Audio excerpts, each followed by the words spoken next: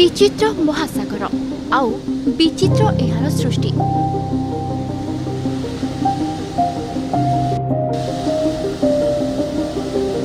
ଯାହାର ସୁରକ୍ଷା ଆମର ଦାୟିତ୍ୱ ଦେଶର ପୂର୍ବ ପାର୍ଶ୍ୱରେ ବଙ୍ଗୋପସାଗର ପଶ୍ଚିମରେ ଆରବ ସାଗର। ଆମ ରାଜ୍ୟର ବିଭିନ୍ନ ଉପକୂଳବର୍ତ୍ତୀ ଜିଲ୍ଲାଗୁଡ଼ିକ ଦେଇ ବଙ୍ଗୋପସାଗର ପ୍ରବାହିତ। ତେବେ ଏହି ସମୁଦ୍ର ତଟର ସୁରକ୍ଷା କରିବା ଆମମାନଙ୍କର କାର୍ଯ୍ୟ। ନିଜେ ସଚେତନ ହେବା ସହ ଅନ୍ୟମାନଙ୍କୁ ଏହାର ରକ୍ଷଣାବେକ୍ଷଣ ଉପରେ ସଚେତନ କରାଇବା ନିହାତି ଆବଶ୍ୟକ।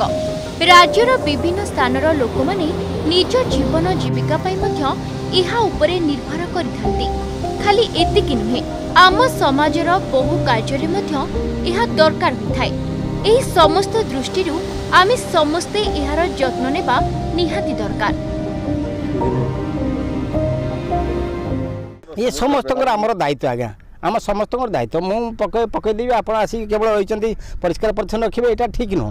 ସମସ୍ତଙ୍କର ଦାୟିତ୍ୱ ସମସ୍ତେ ଟିକେ ଯେଉଁଠି ଯାହା ଦେଖୁଛନ୍ତି ତାକୁ ଡଷ୍ଟବିନ୍ ଥୁଆ ହେଇଛି ମ୍ୟୁନିସିପାଲିଟି ତରଫରୁ ଏତେ ବ୍ୟବସ୍ଥା କରାଯାଇଛି ସେ ଡଷ୍ଟବିନ୍ ଯାହା ଯେଉଁଠି ଯାହା ଖାଉଛନ୍ତି ଆଇସ୍କ୍ରିମ୍ ଖାଆନ୍ତୁ କି ଯାହା ଯିଏ ଯେମିତି ଗୁଟକା ଖାଉଛନ୍ତି ସିଗାରେଟ୍ ଖାଉଛନ୍ତି ଯାହା ଖାଉଛନ୍ତି ଆଇସ୍କ୍ରିମ୍ ଡଷ୍ଟବିନ୍ରେ ପକାନ୍ତୁ। କିନ୍ତୁ ଆଡ଼େ ଛାଡ଼େ ନ ପକାଇକି ଗୋଟେ ଜାଗାରେ ପକାଇଲେ ଭଲ ହେବ। କାହିଁକିନା ସଫା ନ କଲେ ଏସବୁ ଜିନିଷ ବିଚ୍ ପାଖରେ ତାର ଗୋଟାଏ ପ୍ରଭାବ ପଡ଼ିବ ଇନଡାଇରେକ୍ଟଲି ଆମ ଉପରେ ପଡ଼ିବ। ଯଦି ସି ବିଚ୍କି ଆମେ ସଫା ନ ରଖିବା ସେଠି ଅଳିଆ ପକାଇବା ପଲିଥିନ୍ ପକାଇବା ଅନ୍ୟାନ୍ୟ ବର୍ଜ୍ୟବସ୍ତୁ ପକାଇବା ସେଗୁଡ଼ାକର ଗୋଟେ ପ୍ରଭାବ ପଡ଼ିବ। ତେଣୁ ସମସ୍ତେ ସଚେତନ ହେଇକିରି ସଫା ରଖିବାଟା ଉଚିତ। ଆଜିକାଲି ବିଭିନ୍ନ ଉପାୟରେ ବିଷାକ୍ତ ପଦାର୍ଥଗୁଡ଼ିକ ସମୁଦ୍ର ଜଳରେ ମିଶୁଛି।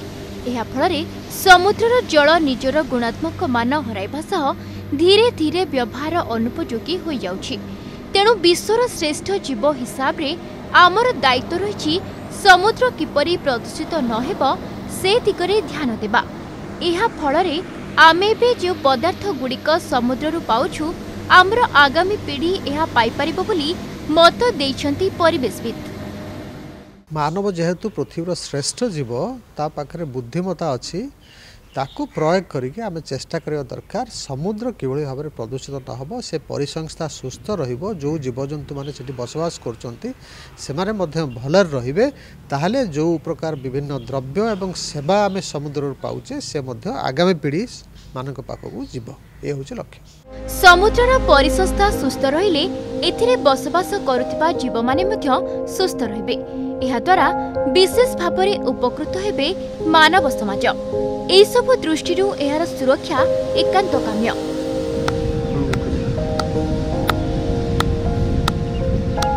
ପୁରୀରୁ ଆଲୋକ ଆଶୁତୋଷ ନାୟକ ପାରାଦୀପରୁ ବବ୍ରୁ ବାହନ ରାଉତ ଭୁବନେଶ୍ୱରରୁ କ୍ୟାମେରା ପର୍ସନ ଟୁନା ମଣ୍ଡଳଙ୍କ ସହ ସୁଶାନ୍ତ ସାହୁଙ୍କ ରିପୋର୍ଟ ଦ ଅର୍ଗଷ୍ଟ